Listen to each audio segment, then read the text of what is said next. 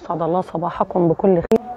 آه للأسف آه آه حصل حادث مروع حادث آه أفجع العديد آه من القلوب آه للأهالي بمحافظة الفيوم على طريق آه اسيوط الغربي بسبب تصادم سيارتين على الطريق آه بالفيوم.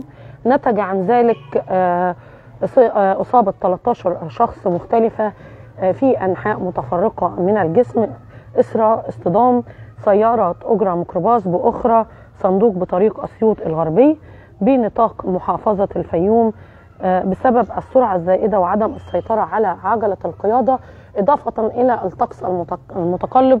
وجميعنا طبعا يعلم أن هناك غيوم وسحب تحدث منذ الفصل فصل الشتاء وتسيطر على الجو بشكل عام أغلب الأوقات خصوصا الطرق السريعة أو المؤدية إلى طريق القاهرة أو إسكندرية الصحراوي. تلقى اللواء خالد اللواء ثروت المحلاوي مدير أمن الفيوم اختارا من العميد محمد جلال مأمور مركز طميه بورود إشارة من مركز شرطة الطرق والمنافذ بيفيد بإبلاغ قائدي السيارات باصطدام سيارتين ببعضهما وإصابة 13 شخصا بكسور وكدمات مختلفة في جميع أنحاء الجسد المتفرقة وعلى الفور عند حدوث عند حدوث الحادث انتقلت قوات الأمن مع سيارة الإسعاف إلى مكان الواقعة وجرى نقل المصابين إلى مستشفى الوصف المركزي لقربها من موقع الحادث وجرى إزالة آثار الحادث وفتح الطريق أمام الماره والسيارات ونقل السيارتين بعيدا عن نهر الطريق وتم تحرير محضر بالواقعة واتخاذ الإجراءات القانونية اللازمة حيال ذلك الحادث والعرض على النيابة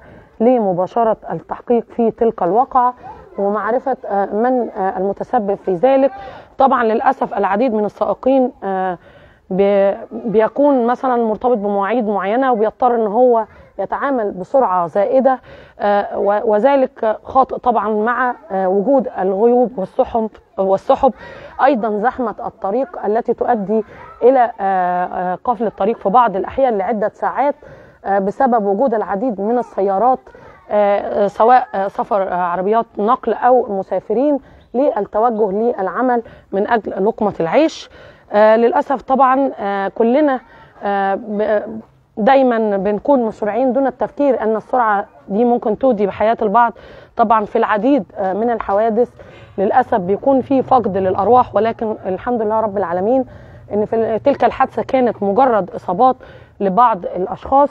وده طبعا بسبب ال ال يعني بفضل الله رحمة ربنا اولا وإن الحادث ما كانش قوي لدرجة إن يحصل آه أي مصرع لاي شخص والحمد لله طبعا إحنا بنشكر ربنا على ذلك إن لم يحدث أي حالة وفاة في تلك الواقعة.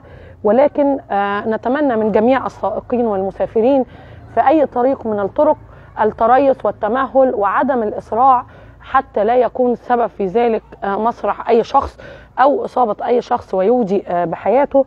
لأن طبعا كلنا عارفين إن فصل الشتاء زي ما حضراتكم شايفين بيبقى في سطوع للشمس أحيانا والبعض الآخر بيكون في عدم تواجد لتلك السطوع وبيكون في شبورة بتخلي السائق غير مدرك لشكل الطريق بشكل واضح. وده بيؤدي طبعا إن هو ممكن يصطدم لأن الرؤية بتكون محجوبة بسبب الغيوم اللي بتطمس السماء أثناء الطريق وخاصة في الطرق العامة اللي بتؤدي بشكل مباشر للقاهرة والإسكندرية. وده طبعا اللي كان سبب في حادث اليوم والذي أصيب بسببه 13 شخصا في بإصابات طبعا كما ذكرنا متفرقة في الجسم. وزي ما ذكرنا إن الحادث حصل بين عربية ميكروباص وعربية صندوق أجرة. وده طبعا بسبب السرعة والتزاحم وإن البعض بيميل إلى إن هو يحاول يخرج بأي شكل من الأشكال من ذلك الزحام ولكن بيكون نتيجة ذلك هي حدوث الحوادث المفجعة وإصابة البعض وأيضا مفارقة البعض لحياته.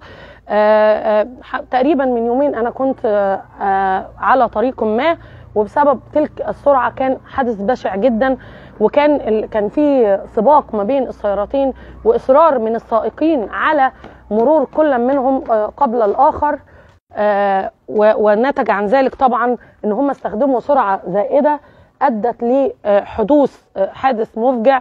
ومفارقة ثلاثة أشخاص الحياة وإصابة برضو البعض وده طبعا نتيجة استهتار البعض. ولكن آه، في تلك الحادثة كان آه، للغيوم دورا كبيرا التي سيطرت على السماء ولكن هذه إرادة الله أولا وأخيرا.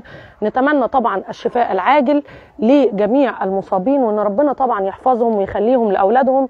وبنقول ل- لأي حد بيقود سيارة سواء الس- السيارة دي آه، شيء خاص بيه أو هو سائق عليها تريث ربنا يحفظك. ربنا قال ولا تلقوا بأيديكم إلى التهلكة لأن المفروض إن إحنا نتعامل مع كل شيء بهدوء ومفيش حاجة هتحصل في الدنيا غير بأمر ربنا سبحانه وتعالى. يعني لازم تكون واثق ومتأكد إنك لو عايز توصل المكان ده هتوصل في الوقت والميعاد اللي محدده ربنا. لازم تكون عارف كمان إن في مسؤولية عندك هي زوجتك وأولادك فما ينفعش إن أنت آه، تدمر حياتهم لأن في غياب رب الأسرة الأسرة جميعا بتتدمر. نتمنى آه، من الجميع الدعاء بالشفاء العاجل لجميع المصابين وإن ربنا سبحانه وتعالى يحفظهم وإن الجميع يتوخى الحذر وخصوصا إن إحنا كمان خلال الفترة المقبلة هيكون آه، آه، في وجود أمطار بشكل كثيف وغيوم بشكل اكثف وده بالذات على الطرق السريعة للمسافرين. فالتريث بيكون مطلوب والهدوء بيكون مطلوب وعدم التعامل بسرعة زائدة على الطرق. أو محاولة آه، الوصول آه، بشكل أسرع ده عمره ما هيكون الحل لأنه ممكن يكون سببه إنك تفقد حياتك وإنك ما ترجعش لأولادك وبيتك.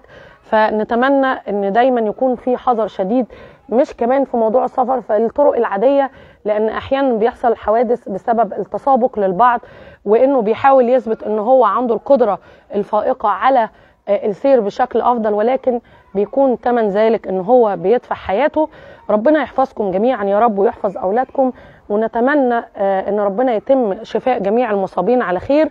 وبنوجه رسالة لجميع أهالي المصابين من خلال جريدة أهل مصر آه، إن إحنا بنتمنى الشفاء العاجل للمصابين الخاصين بيهم ونتمنى دوام الصحة والسعادة لجميع اسرهم الأسر الخاصة بيهم.